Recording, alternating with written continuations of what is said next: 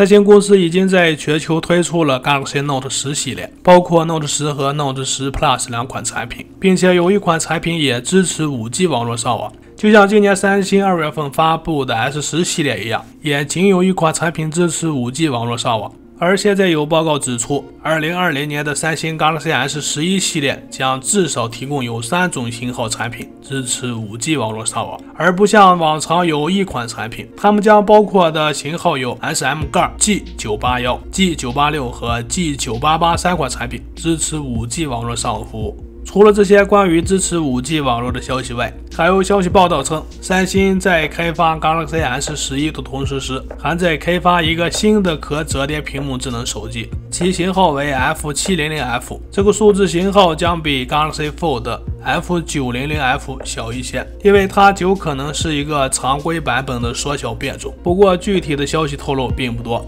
但以下一个专利可以和这个缩小版的折叠智能手机有点吻合。三星每年都会注册大量的专利，以保护外联智能手机的设计。有时候这些专利会转化为真正的产品，而有时候它们只会用于申请和重出。其中来自今年的新专利显示，这可能是缩小版的 Galaxy Fold，不过也可能和三星 Galaxy S 十一有一定的关系。三星公司于二零一八年底在韩国知识产权局提交了新专利。于今年五月份获得批准。该专利包括十四个草图，其中可以看到它具有屏幕可延伸的效果，拉伸后的屏幕面积增加了约百分之五十。由于它是设计专利，因此没有更详细描述屏幕扩展是如何工作的。可以看到的是，屏幕拉伸后，周围的框架和其边界也会跟随着移动，这使得展开后的柔性屏幕保持受到了胃部的保护。并且在屏幕上，它也有采用打孔屏。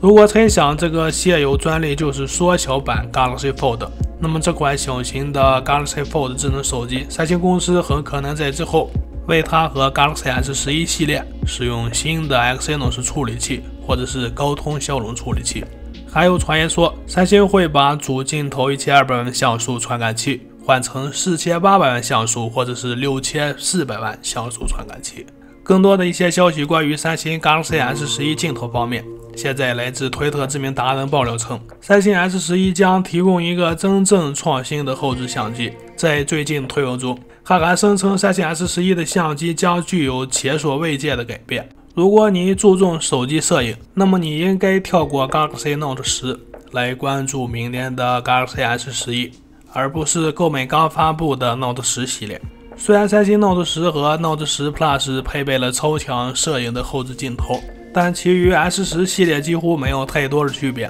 所以，三星为 S11 开发新的后置相机系统，则几乎是可信的。三星 S11 的新后置相机系统可能将包括新功能之一，就是提供三个可变光圈的镜头，而不是现在拥有的两个可变光圈镜头。当然了，目前的三星 Note 10已经拥有了双可变光圈。现在，如果说该泄露的消息是正确的，那么相信明年三星发布的 S 十一系列必定有一个出色的成像技术。除此之外，更让人难以置信的是，三星 S 十一系列还提供可调节光学变焦，它可以在一定范围内自由调节焦距。之所以提到了它的功能强大，正是因为目前后置长焦镜头使用光学变焦，其焦距是固定的，只能在一个变焦倍率发生变化。所以，三星 S 十一改变这一变化是非常让人期待的。